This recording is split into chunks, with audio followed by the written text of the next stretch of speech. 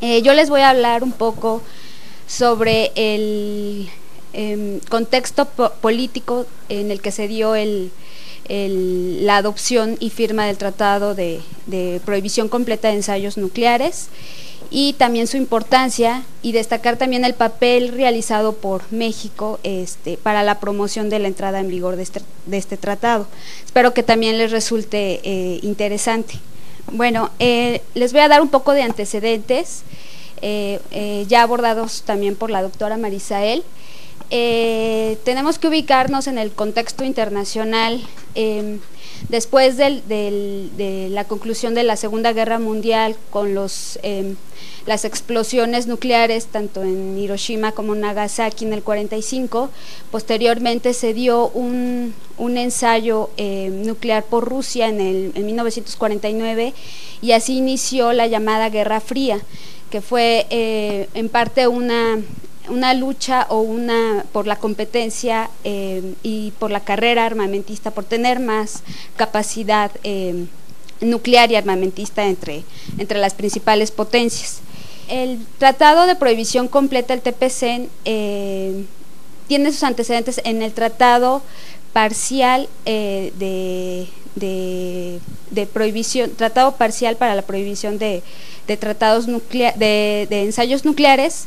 que fue firmado en 1963, pero este tratado tiene su antecedente en la crisis de los misiles. Eh, derivado de que eh, estuvo a punto la comunidad internacional de enfrentarse a una guerra nuclear entre Estados Unidos y, la, ex Unión Soviética. Derivado de este de, este, eh, de esta situación y también a raíz de los ensayos de, bombas de hidrógeno, tanto de, por Rusia como por Estados Unidos en los años 50 y la, sensibilidad internacional frente al, a la gran expansión de, ondas, de ondas em, eh, eh, de, radioactividad. Entonces eh, se puso muy, muy en contexto el peligro que, que estas, esta radioactividad afectaba tanto a la, tanto a la salud como al medio ambiente. Entonces, esto llevó a, pues, a la firma del Tratado Parcial de, Ensayos Nucleares. Pero este tratado eh, nada más prohíbe los ensayos eh, en la atmósfera eh, por la cuestión de la radioactividad, los ensayos en el espacio exterior y debajo del agua, pero no prohíbe los ensayos subterráneos. y esto, bueno, no, no aun cuando bajo la, la, cuestión de la, del peligro de la radioactividad, siguieron eh, eh, realizándose ensayos nucleares subterráneos y, aumentaron en su número. No fue sino hasta ya en un contexto internacional eh, posterior a la Guerra Fría, en los noventas, cuando se impulsó la negociación del Tratado de Prohibición Completa de Ensayos Nucleares, eh, en la conferencia de, desarme en 1994. En los, eh, el proceso de, negociación de este tratado duró dos años, del 94 al 96. Aquí eh, se negociaron la cuestión de la definición de lo que eran ensayos nucleares, que incluyeron todas las, todos los ensayos nucleares, incluso los ensayos este, con fines pacíficos, pero no incluyeron los llamados ensayos subcríticos, que son los ensayos de, explosiones a, una baja escala. También se negoció los, los países que debían de, firmar y ratificar este tratado con el fin de que entrara en vigor.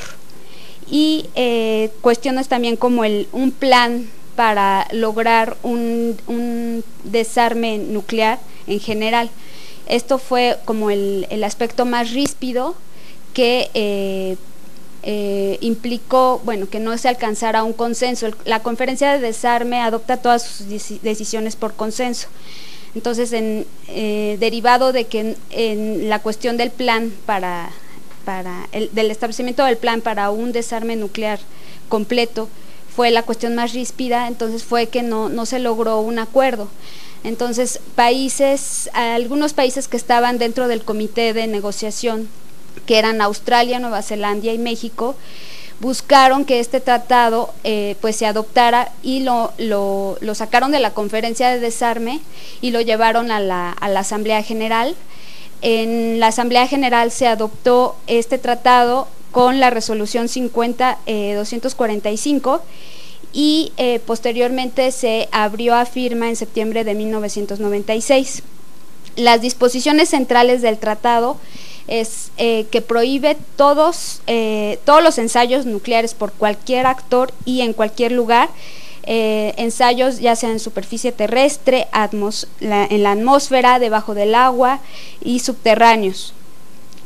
para su entrada en vigor se requiere de la firma y ratificación de 44 países que están incluidos en el anexo 2 del tratado. Estos países eh, se caracterizan porque en ese momento tenían capacidad nuclear y tenían reactores también este, nucleares, incluyen también, se incluyeron también a las, a las potencias nucleares.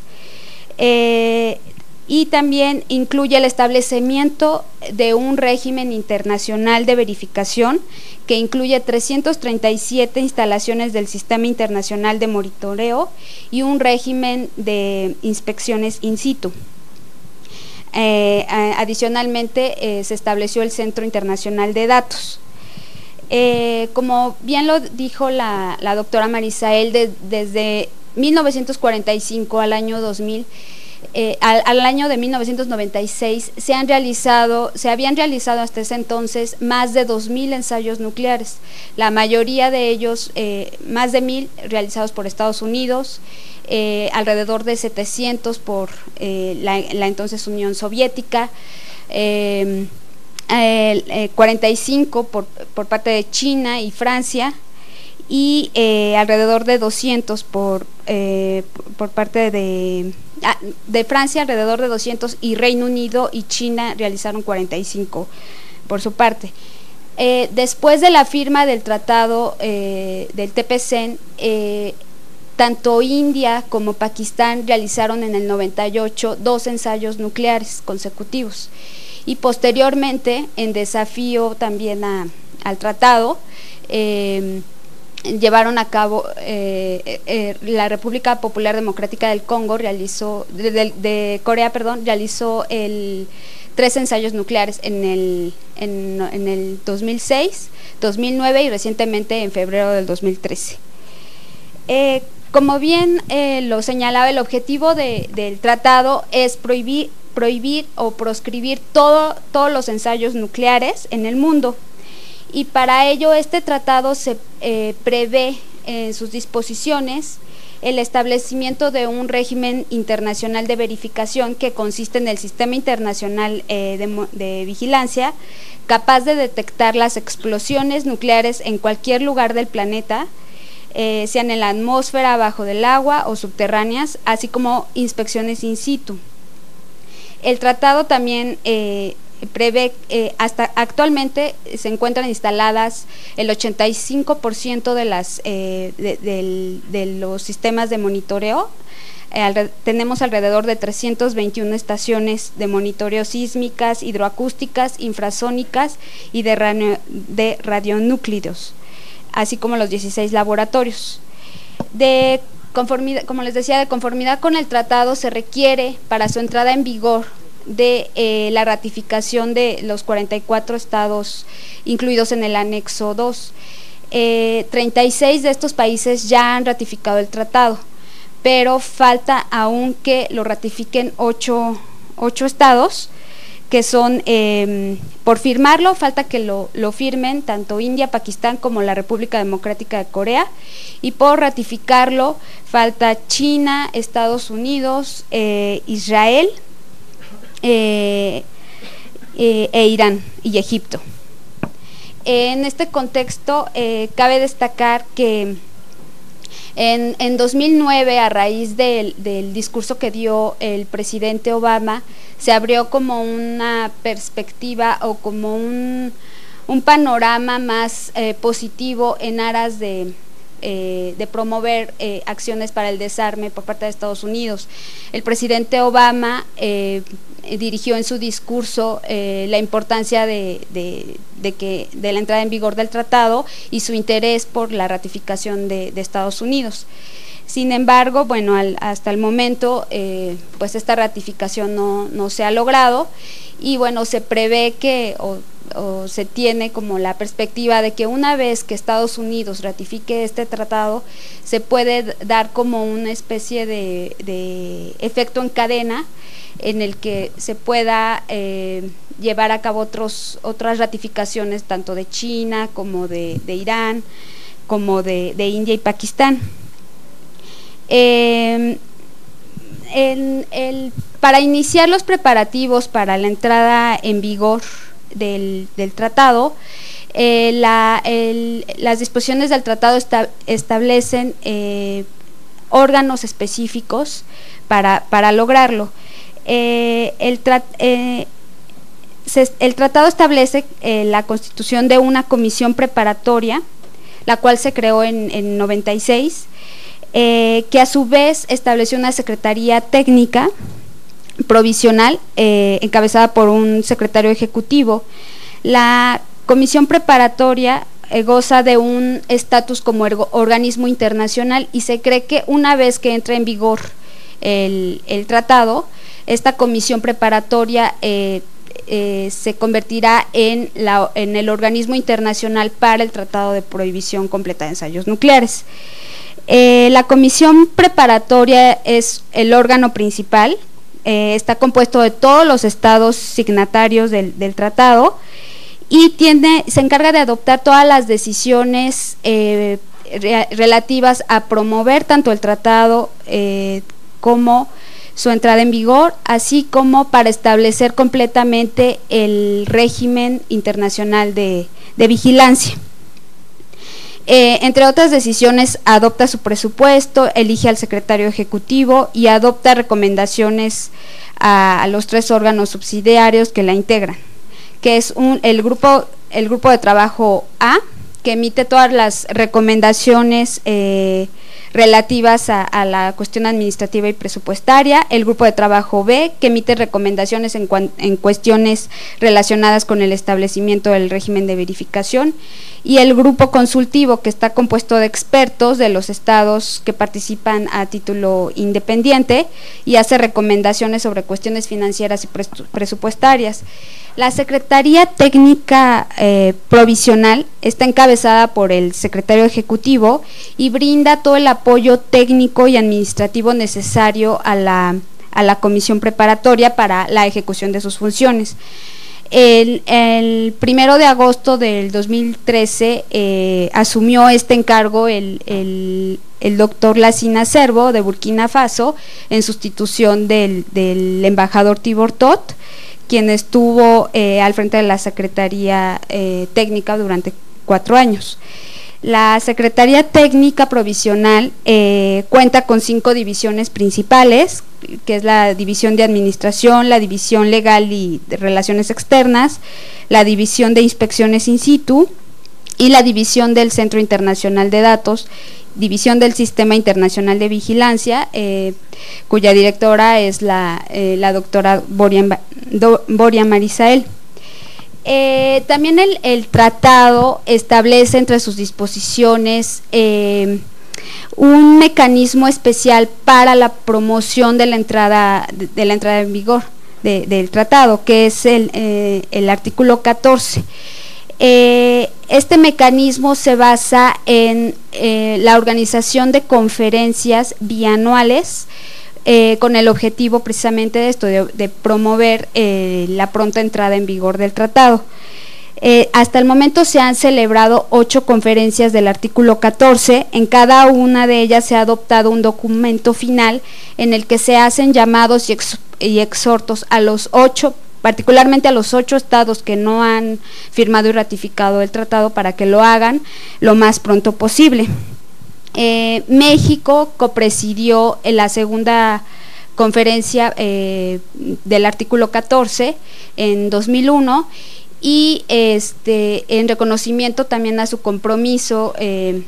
con, con la pronta entrada en vigor del tratado fue otra vez encomiado con este mandato recientemente en la séptima conferencia del artículo 14 que se llevó a cabo en 2011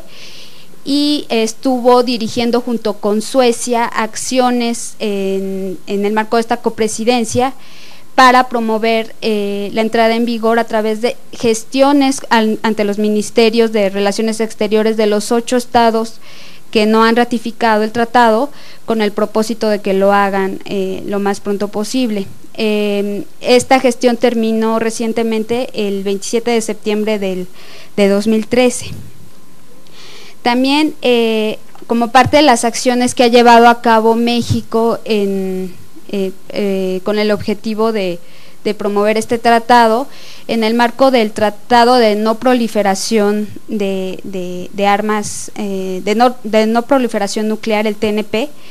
Eh, México junto con otros países ha promovido que se integre en el documento final de la conferencia de examen de este tratado eh, disposiciones para que se, se logre la entrada en vigor eh, quedando así en los documentos finales establecido los llamados y los exhortos tanto a los, a los países poseedores como a los eh, que no han ratificado para promover tanto su aplicación, el, cumplimiento de este tratado como su pronta entrada en vigor. Nada más comentarle en términos generales, eh, México firmó el tratado en 1996 y depositó su instrumento de ratificación el 5 de octubre del 99, convirtiéndose así en el 51 Estado eh, miembro de, este tratado. México es parte de los 44 países incluidos en el anexo 2, cuya ratificación es necesaria para entrar en vigor. Eh, México es un activo promotor de la proscripción de todos los ensayos nucleares y ha promovido en todos los foros de desarme nuclear, incluso en la Asamblea General, presentando una resolución cada año sobre la promoción del tratado junto con, eh, esta, resolución la presenta junto con Australia y Nueva Zelanda, que, fueron los promotores de la negociación del tratado. También eh, realiza, ha realizado gestiones para eh, promover eh, la pronta entrada en vigor de todo el sistema internacional de verificación y México ha apoyado todos los esfuerzos de la comisión preparatoria para, la, para el fortalecimiento del sistema internacional de, de vigilancia. En México contribuye al sistema internacional de vigilancia con cinco estaciones auxiliares de monitoreo, tres sísmicas que están en Quintana Roo, en Matías Romero, Oaxaca y en La Paz, Baja California Sur. Una hidroacústica que está ubicada en la isla Socorro, Colima, y eh, todas estas las están a cargo del Instituto de Geofísica y una de radionúclidos que está a cargo del Centro de Investigaciones Biológicas del Noroeste del CIBNOR. Y bueno, ya nada más comentarles que eh, como parte de, del compromiso de la Secretaría de Relaciones Exteriores como punto focal del, de, la comisión preparatoria para la, de la comisión preparatoria del Tratado de, Prohibición Completa de Ensayos Nucleares, va a promover que México siga eh, manteniendo su compromiso con el desarme general y completo en aras de buscar pues una paz sostenida y buscar eh, la firma de los ocho estados que aún faltan por firmar y ratificar el tratado para que lo hagan lo más pronto posible, así como promover en nuestra región la firma de Cuba y Dominica de, eh, este tratado, eh, dado que son los únicos dos países que, aún no lo han hecho, ah, y, así también con otros países. Eh, también es de nuestro interés promover la participación de expertos mexicanos en los talleres, seminarios y conferencias que organiza el Secretariado Técnico Provisional del, del CTBT y eh, promover también entre las instituciones mexicanas un mejor conocimiento de todas las tecnologías de, del, mecanismo de verificación del tratado. Eh, México va a promover que se siga manteniendo la vigencia y el fortalecimiento de la norma universal para la prohibición completa de ensayos nucleares eh, a nivel mundial, que se respete y bueno, sería todo. Muchas gracias.